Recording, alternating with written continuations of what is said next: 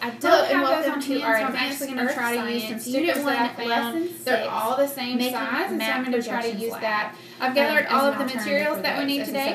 Um, we have our scissors, Clear tape, a plastic flashlight, or bottle, black marker. Um, try to find So one that all my has more materials, lid. Some of them have The first thing that we want to do is prepare, And so, and um, luckily they've got some bottle that work um, good for that. diagrams on our Um, instructions here. round flat can kind of objects of various sizes, um, tape rolls, these you can use diagrams the plastic lid from your bottle. our lab. Construction paper I'm actually going to try to prepare is to cut off the top, the curved part of the plastic bottle. So that's going to be reinforcement. this So top, those are just those um, circular part. stickers So with the hole in the, the middle. I don't have those on hand, so I'm actually going to try to use some stickers that I found. They're all the same size, and so I'm going to try to use that that you see um, here as an alternative for those. So So we're going to basically cut off the very top Clear part, tape, we're going to cut this flashlight, off that label black marker. So I Um, have all my so you use your are scissors to do to that. go. The first thing Um, that we want to can do actually begin cutting, and um, luckily a they've got line some down and then tape it back diagrams together. I actually have a little X-Acto So knife we that can I'm going to follow try to that, start my cut um, with. Follow So we're just going to cut this off and see how that goes. our lab. So the first thing that you want to do to pre- to prepare is to cut off the top, the curved part of the plastic bottle. So that's going to be this top gonna get it um, curved part. So the goal here is to get. So I'm going to use keep the label on and kind of use it as a guide as I cut that you see here on So your that hopefully I diagram. So it, we're going to um, basically cut off the very top part and we're going to cut this off about where that label starts. Um, so you can use your scissors to do that.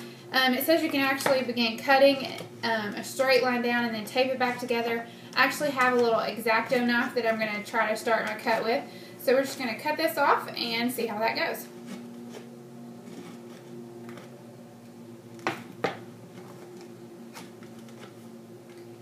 And I'm just going to get it going with this. And then hopefully I can even this up later. But I'm going to keep the label on and kind of use it as a guide as I cut. So that hopefully I can keep it um, as straight as possible.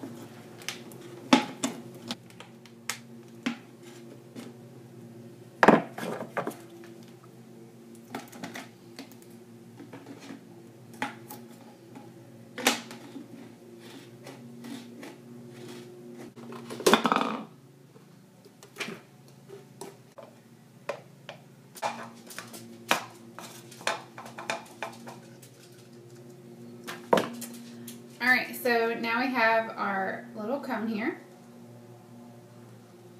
And the next thing is to cut off the bottom of your, um, the base of your bottle as well. So I will do that next.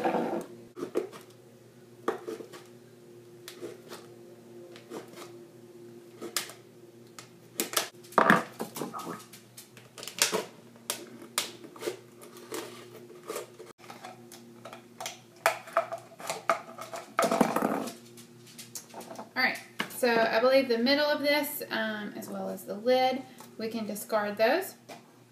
Alright, so for step two, you are going to place your half globe on a flat surface with the larger opening facing down. And with a marker, they want us to draw our lines of latitude around our globe. They want at least four lines of latitude, so I'm actually just going to measure. Um, and I think mine's about three inches long, so every half inch, I'm just going to place a dot, and then I'm going to connect those as I go around to draw my lines of latitude and try to keep them as straight as possible.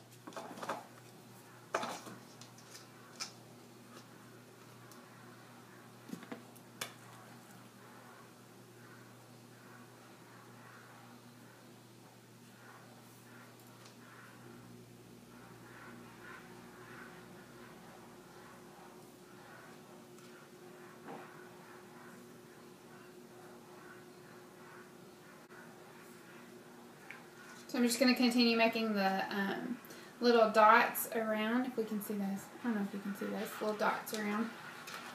Just every so often so that we can try to line these up.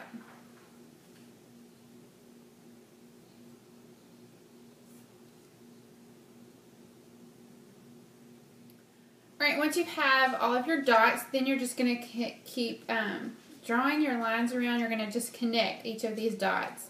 And that just helped me to keep them so that they don't go too angled as I go around drawing these lines. And then any of them that you need to make darker, you can trace those and make them darker. So here's, I'm going to end up having five lines.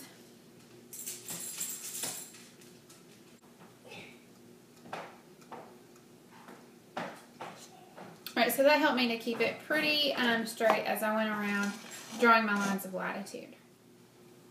Alright, so your next step is to draw your lines of longitude. Since we have a circle, I divided it in half both ways, and then halfway in between each of those, I drew a straight line. You need at least six lines of longitude, and so I ended up with eight lines of longitude. So I now have my globe ready to go. Okay, and then your fourth step is to place your hole reinforcements, or for me, I'm going to be doing my stickers. So I'm just going to select stickers. Um, you want to place three of these. You want in different sections of your globe. So you want one close to the small opening or the pole. Um, so I'm going to do one right there at the pole. You want one near the middle and one close to the bottom of your um, grid. So I'm going to do one in the middle and then one closer to the bottom. I'll do that one at the very bottom.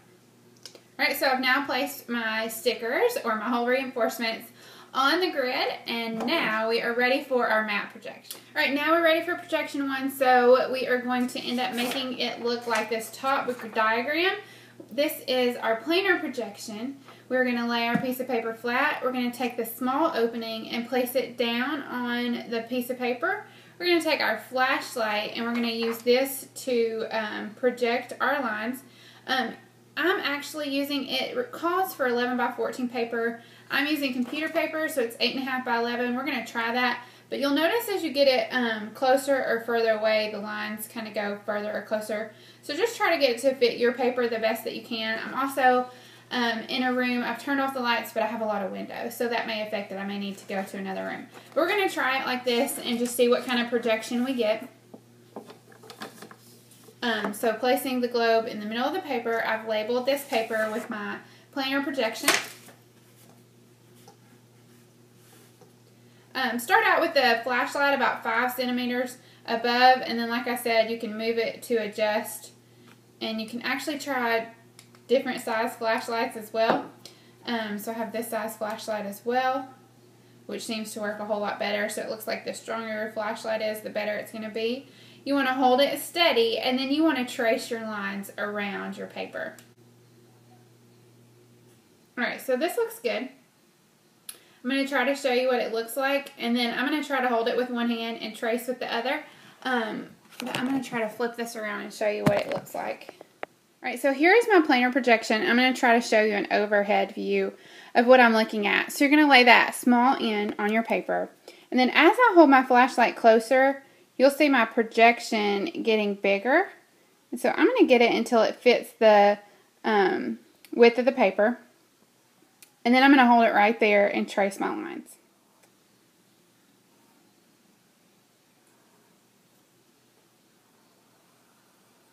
Alright, and then once you are done with your planar projection, it should look something like this. And if you have someone to hold the flashlight for you while you're drawing, it's going to make it a lot easier as well. Okay, the second projection that we are going to do is going to be our cylindrical projection. You can either use the base to wrap it around, or I'm actually using the middle of the, the um, bottle that we cut off. And because I'm using the um, computer paper, it's too short. So this is where I'm just going to tape um, two pieces together to make my um, paper long enough. I'm just going to tape it around this and make it into a cone. Alright, I just left um, the middle portion of my bottle in there to help hold the shape. And then this time you want to set your bottle down in there with the small side pointing down. And you just want to tape it to the top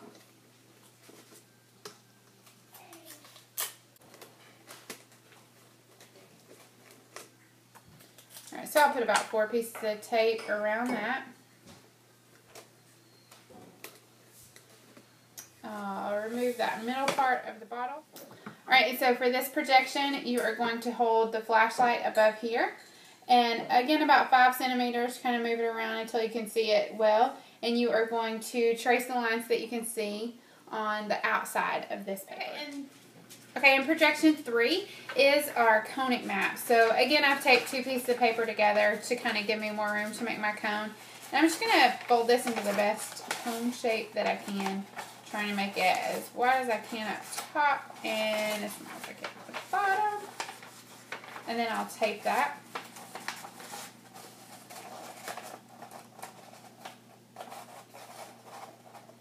So that my um,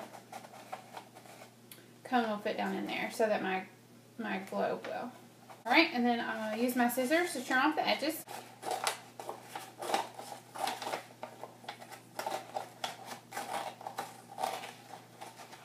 Alright, now that we have our conic projection, you're going to hold this with the small end down and then you are going to, again, position your flashlight so you, that you get the best projection. And you are then going to um, trace your lines onto your conic projection.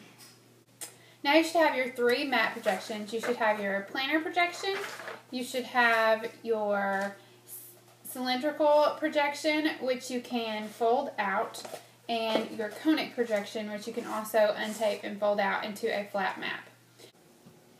Alright, and so once you fold out your other projections, you end up with your planar projection. This is your cylindrical projection um, unfolded.